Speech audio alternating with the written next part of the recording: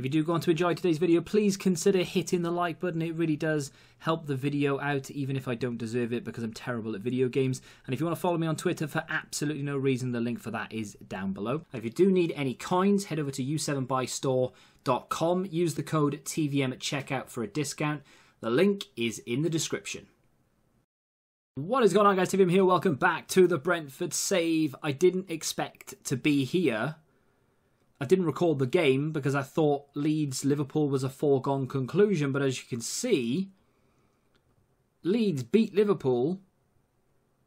What a game that is, by the way. Uh, Leeds beat Liverpool two goals to one. We dispatched Aston Villa five goals to one. It was a very straightforward training session. We, I believe, mathematically, have just won the league. I'm pretty sure we we have. We've got a lot of emails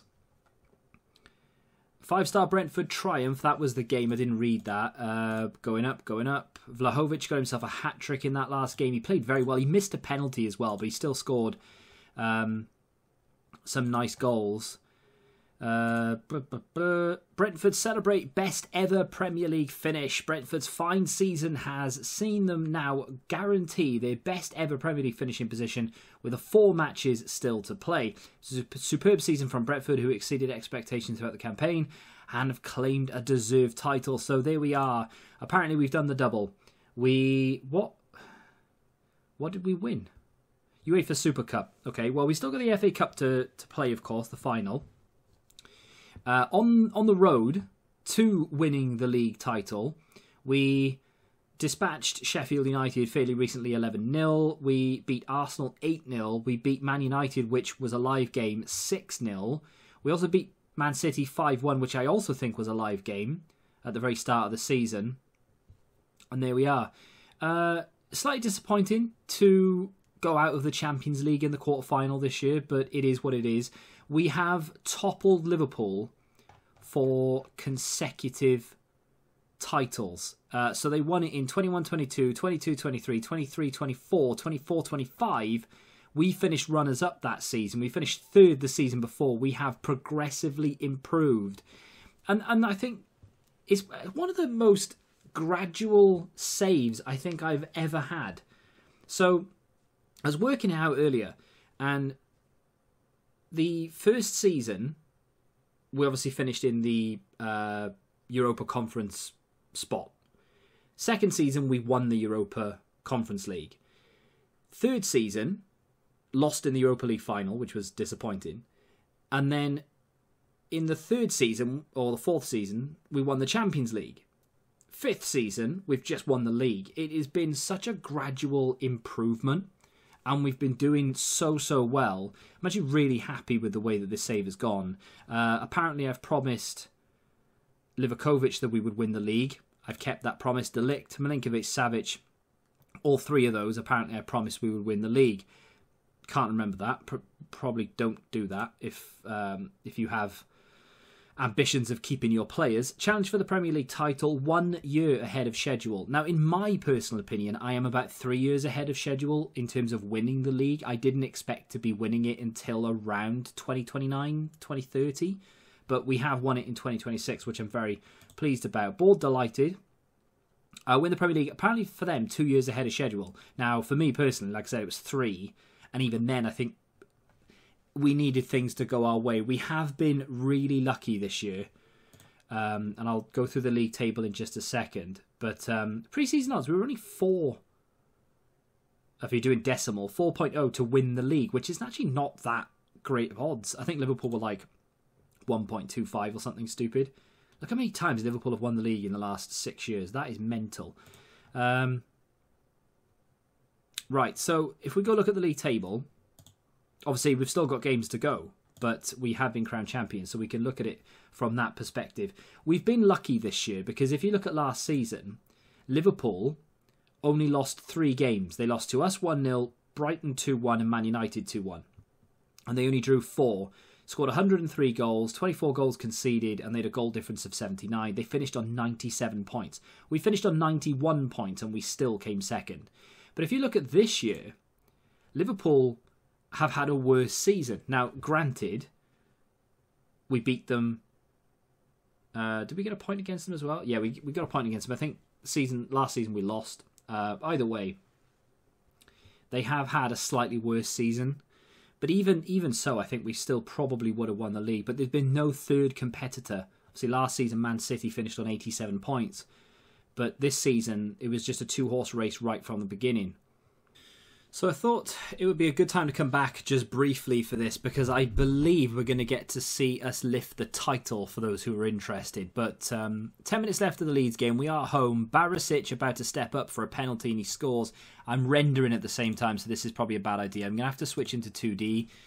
I'm going to have to try and remember to switch back into uh, 3D before the presentation, but uh, just for the final 10 minutes, we'll just sit with it. I mean, we've absolutely destroyed Leeds.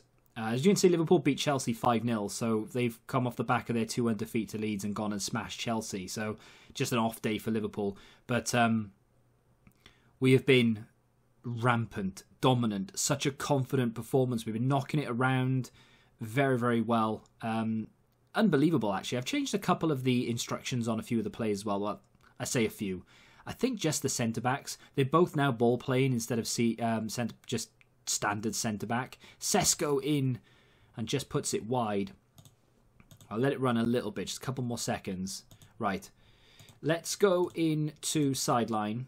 Uh, because if we do, if we stay in 2D, it won't show the, the presentation in 3D. So here we go. We are about to lift the Premier League title. It's not as exciting as it could have been because Liverpool didn't keep pace with us, and we we we won a few games. I honestly wasn't expecting to to win, so it's a little bit less.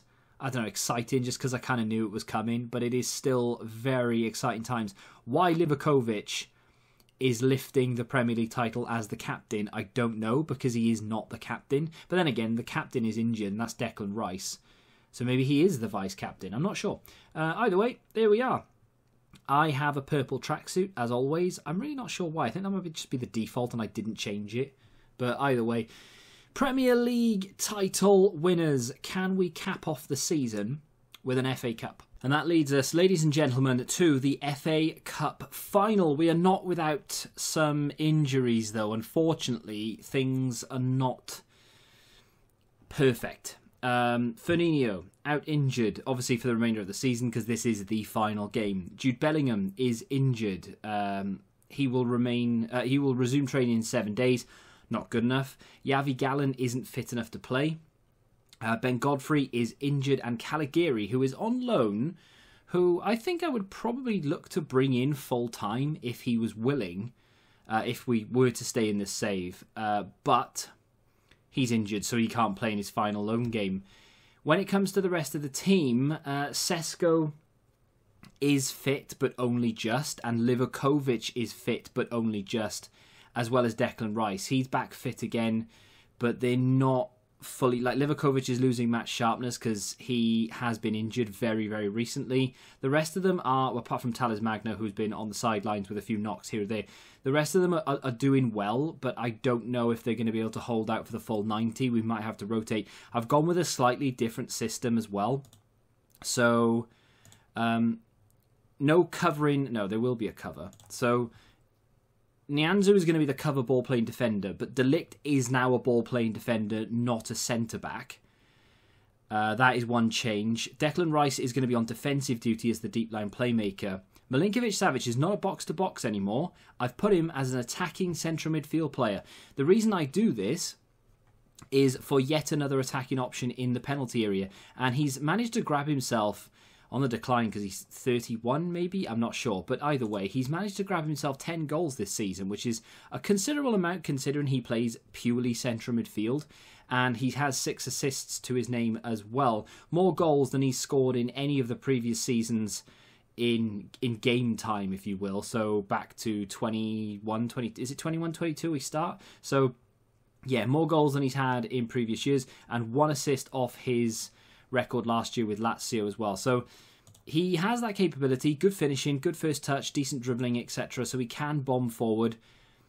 If we start to get a little bit overrun in midfield, which we're likely to, I may switch to put him back to a box to box, or I might move Kimmich into an inverted wing back so that he covers the space when Milinkovic Savic goes forward, and we still are focusing play down the left because Barisic is probably the best player in the world. Absolutely incredible return for a, a left back. I mean, Andy Robertson, eat your heart out. Now, Chelsea, they bottled, I'm not going to say bottled, they lost the uh, Champions League semi final against PSG. They got absolutely trounced. Four goals to nil. They got absolutely nowhere near them. They have a few problems. So they have two suspensions. Uh, Ronald Araujo, I'm not sure if he's first team or not. Oh, well, I would imagine he is. Uh, 17 tackling, 17 marking. That's a very big player to be missing. So he's injured. Uh, we'll go back to that. Uh, Aaron Wan-Bissaka, we know who he is. He plays right back. Is suspended. Uh, sorry, Arujo is suspended. Uh, Wan-Bissaka is suspended. Then they have Ryan Gravenberch out with a twisted ankle, and they have uh, Federico Chiesa out with a groin strain. So they have what I would assume to be four first team players out through suspension and injury. We have two, possibly three through suspend uh, through injury, no suspensions. So not our first team, definitely not their first team. Is that going to be enough to give us the edge in this game? I hope so. It's going to be a long episode this one. I appreciate that, but I'm I'm thinking it's probably going to be the last episode in the Brentford save. If we win it, it's going to be amazing. If we don't win it, it's a shame, but I think it's time to move on to something new, and I have an idea. I've taken some comments on board, and I've looked at a few other things going on in the world of Football Manager, and I've come up with my own little twist on something. So that's what we're going to do, and I'm hopefully going to start that tomorrow. Anyway, they have Lukaku up front, very dangerous in the in this game. Kai Havertz is in there, who scored two against us in the last game that we played in the Champions League to knock us out. Nicholas Seiwald, if you remember two or three seasons ago, we signed him as a youth player from, I think it was, was it Leipzig? Uh, and now, of course, he plays for Chelsea. Rudiger's there. Uh, Zabani is in there. Now, I would imagine he's in there to replace the centre back I can't remember the name of, and Reece James comes in, which is not a bad little replacement to have for Aaron Wan-Bissaka. So yeah, it's still a very strong Timo Werner on the bench. Still a very strong Chelsea team. Are we going to be good enough? And is playing Milinkovic Savic as an attacking central midfield player a good idea? Look at that. They're in they're level. They were they weren't crossing over. If you know, you know. If you don't know, then where have you been? So here we go then. FA Cup final. This is the trophy I want to win, and I'm actually a little bit more nervous than I was in a Champions League final, which I don't know why. It's stupid. But back in the 90s, and further back, of course. This was a huge trophy. It's not really considered that big a deal anymore. Same with the, the League Cup, but they were big trophies back in my day. So that's why I want to win it. The FA Cup means a lot to me. I've said it before. Declan Rice playing only his second game since the injury that kept him out for about two months. Barisic with a long ball forward to Sesko. Vlahovic nicks it off Rudiger's mistake. And, oh, what a save from Mendy. I thought he was going to go across goal. He didn't. Let's just encourage a little bit, get some smiley faces going on. This is a big occasion, Wembley. We don't often see ourselves here. Do we want Raphinha to mark Reece James? I don't think so. Um, we'll just let Reece James do whatever he's doing. Uh, I've said that. There he goes. Wait for it. There. Why didn't I tell Raphinha to mark Reece James? Don't know. Um, ball down this right hand side. Then can he put a good ball in? That's questionable. Mount over. Talles Magno intercepts the ball to Pulisic. Havertz has it. Mount into Seiwald, Lukaku. Reece James has got an awful lot of space, and it's a save from Livakovic. Right.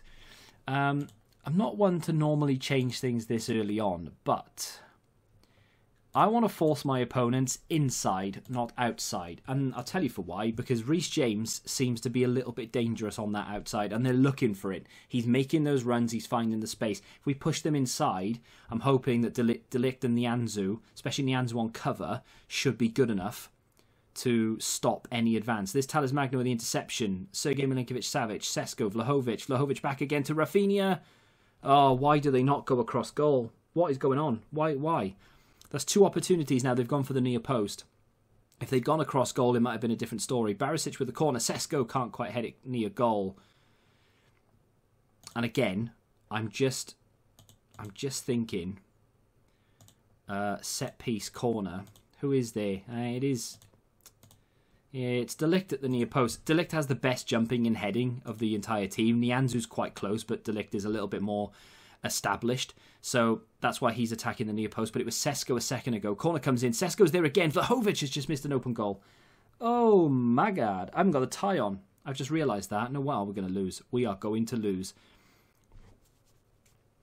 I forgot it was an FA Cup fight. I, I, I, just don't have it. I don't know where it is. No idea. Damn. Um, Barisic steals it. Milinkovic Savic, Rice, back to Barisic. Patiently brings it forward, stops, turns around. Bit bit of patience, okay, back to the keeper. If we keep the ball, I don't mind so much. As if they nick it, we've got a problem. And we've lost the ball. Seiwald Havertz, James. I don't like this. I do not like it at all.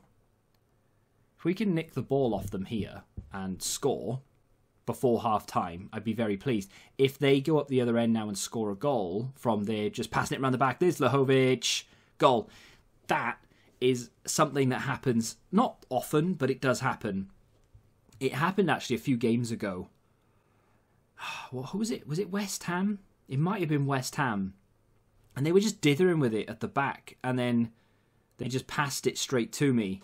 And it wasn't Vlahovic on that occasion. I think it was Fernandinho they passed it straight to, and he just popped it in. But um, that is a terrible mistake at the back for Chelsea in a cup final, and we go in at the break leading 1 0. It hasn't been the most entertaining of first halves, but I'll take it. I don't care if it's the most boring second half you've ever seen. I don't care if we see a highlight, to be honest. I will take a 1 0 win. They knocked us out of the Champions League. So this is revenge. Now, I, I know you'd probably rather progress in the Champions League than you would win the FA Cup. However, they didn't win the Champions League, so they progressed, but to to what end? Ball played over. Raphinha has it. He plays a long ball over to Sesko. It's, I mean, it was ambitious to say the least, but uh, their goalkeeper has just smashed it clear. Kimmich in space, has time. He has Talles Magno. Sergei Milinkovic Savic, Sesko. I'm tempted to bring um, Zaniolo on in a second. It depends what happens here, to be honest. That is brilliant football. Magno, goal. Well, well, well. I mean, that it's not even going to be looked at, but it didn't look like it had crossed the line from where I was. Uh, let's bring on Zaniolo for Raphinha. Switch those two around. I was actually going to take off Magno, but Zan, uh, but Raphinha looks a little bit tired. Magno looks fine, and he's just scored. It'd be a little bit weird to say, "Hey, you've just scored. Come off, get off. You're useless." We're going to look at that again. Uh, whether they're going to show us goal line technology, I'm not sure, but um, I'm not counting my chickens just yet. It was a great bit of football. Oh yeah, it's definitely over the line. That is 100% a goal. Are we going to get to see a replay of it in slow motion? Uh, no. Don't need to, to be honest, but I mean, that wasn't as over the line as Lampard's was, and that wasn't given. Uh, we didn't have VAR then, of course, but still. 20 minutes left. What do we do? Don't want to rock the boat too much. We're in the lead, we're in control, we're doing enough. But does Declan Rice need to come off? No, he doesn't. No one needs to come off. We're not saving players for games. We don't care about suspensions. We are playing and running the players into the ground because this is the final foray. Ball forward to Vlahovic. Can he nod it down? No. Seiwald steals it, plays it forward to Timo Werner, who's off the bench. Livakovic plucks it out of the air. Not a problem. really wish I'd worn my tie. Uh, 10 minutes left then. Now, do I make a sub just for the sake of making a sub? It's not even a question of do I need to, should I just do it anyway? I'm tempted to bring on maybe Xherdan Shaqiri for Talles Magno. I do like a bit of that. And apart from Curtis Jones, I don't really have a space striker. So Sesko and Vlahovic have to stay on. There's no two ways about it. Do we take off Milinkovic Savic or Declan Rice? I have options. Curtis Jones and Yuri Ferreira very capable of playing both roles. I think what I'll do is I'll take Declan Rice off and I'll move his um, his role down to central midfield support. Yeah, that's what. Yeah, yeah. Well, why not? Uh, yeah, that's what I'll do. I am Denard, but I will do it.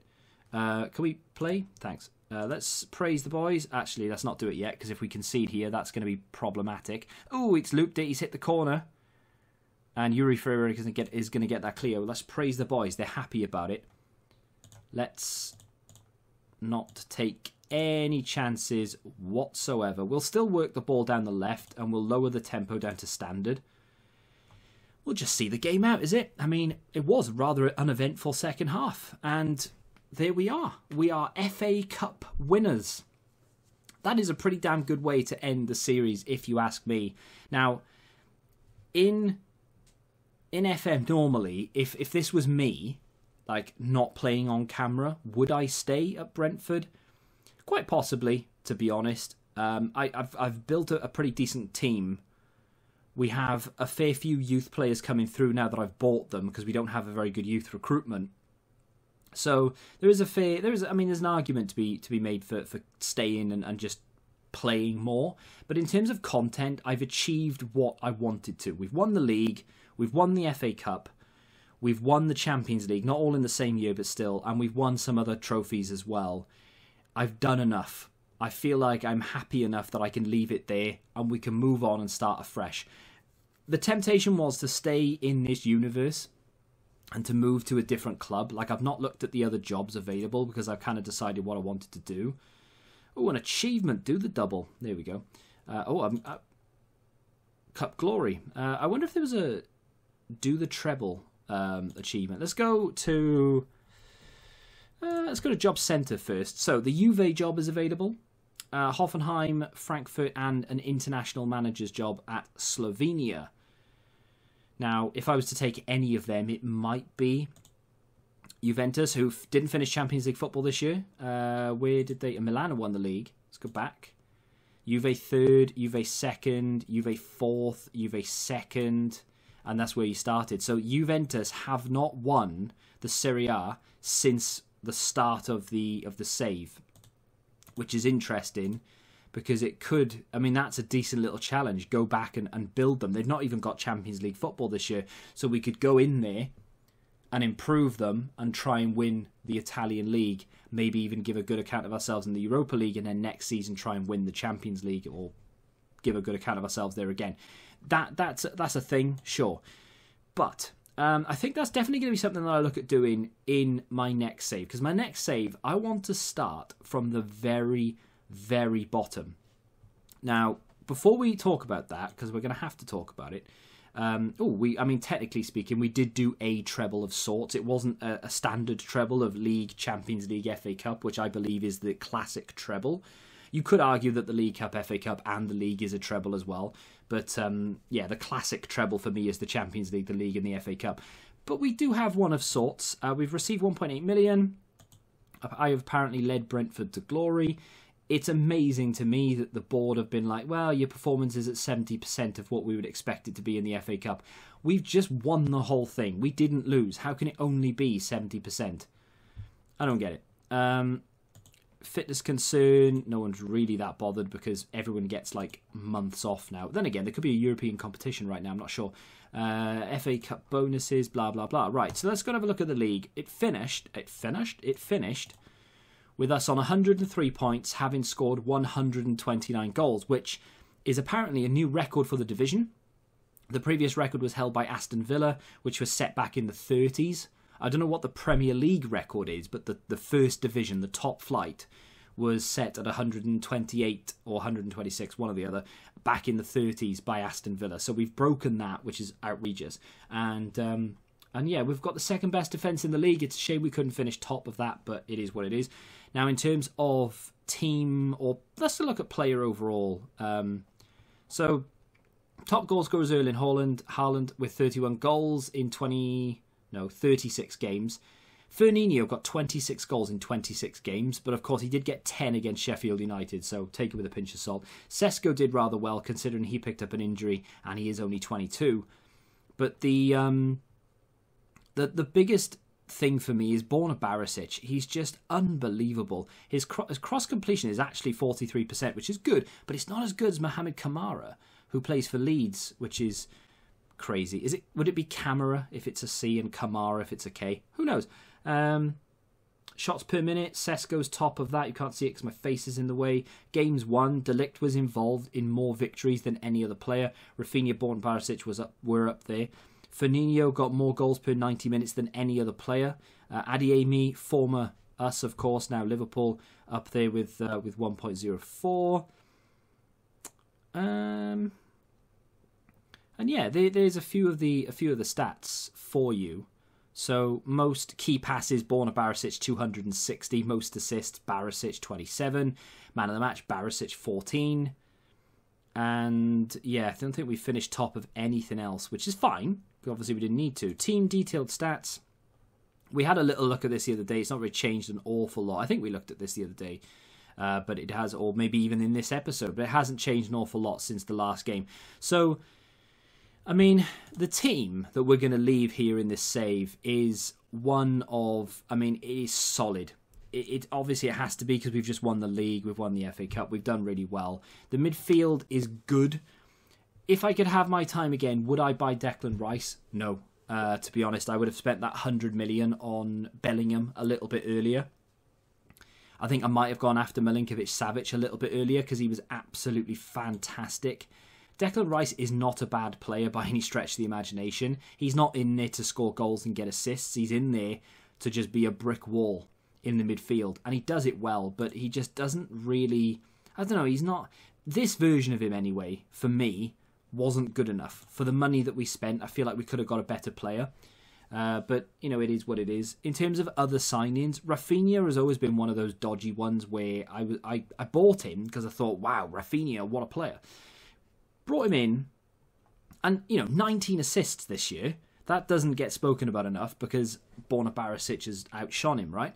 Uh, cost us 118 million collectively because we ended up having to pay over time and when he hit certain things, winning the league, etc. In fact, it could still go up to 121 million, and it probably will do eventually for something. But um, I think it's international appearances. But that, I mean, played more games this season than he has done in any other season only the seven goals, but 19 assists, three man of the matches. Good return. Would I get him again? I'm not entirely sure. He's done really well for us. I am happy that he's here, but I don't know. Could that money have been better spent elsewhere? Mm, don't know. I'm on the fence with that one. I, am leaning more towards I'm happy that he's here and that I bought him. Rice, no, wouldn't have done it. Kimmich wouldn't have bought him either. He did uh, a lot better toward the back end. He got a few more assists got seven assists in all competitions in 39 games, which, you know, for a left back or right back, sorry, you might be thinking, well, that's not too bad, or maybe you're playing him out of position because he's more of a central midfield player. He did play there a fair few times, and he wasn't a bad player at all. But I just feel like I've I've spent a little bit more than I should have done there. 97 million was was a bit too much. Um, Player of the save, obviously, is Barisic. Second, I think, is Livakovic. It has to be said. He is phenomenal. Nianzou was a very good purchase. He played a lot of football for us. Obviously, we got him in on loan from Bayern Munich, and he did he did play a lot. He didn't score as many goals as I thought he would do from corners and such. De Ligt was a good purchase. Very happy about that. Probably should have bought him a lot sooner. Seven goals from corners, two assists in there, nodding them down from corners yeah, should have bought him sooner, if I'm honest. Should have maybe looked to get him in the 22 23 season, somewhere around here. I think that would have been a, a better purchase than, than some of the players that we managed to pick up. Um, but yeah, I think those those two definitely are the best signings. Fernandinho, I've not seen him in anyone else's save be as good as this. Not that I watched that much in terms of FM, but he has been phenomenal. And playing him when he maybe wasn't quite good enough when we loaned him in from Villarreal and he developed into the player that he did and we bought him for 31 and he's just been phenomenal ever since. Very very happy. But all in all can't knock it. We know about Sesko we know about Vlahovic they're in nearly everyone's saves. But going in to the very next uh, FM save if you will if you're interested I will be starting from the very bottom and that is no badges whatsoever uh, we're going to start. I'm not going to go unemployed because it'll take ages to get a job, but I am going to start off at a club and I'm going to pick the most local club to me where I am living, where this house is right now. I'm going to pick the most local club. I know exactly what club it is because it, it is in the game and it is literally five minutes down the road.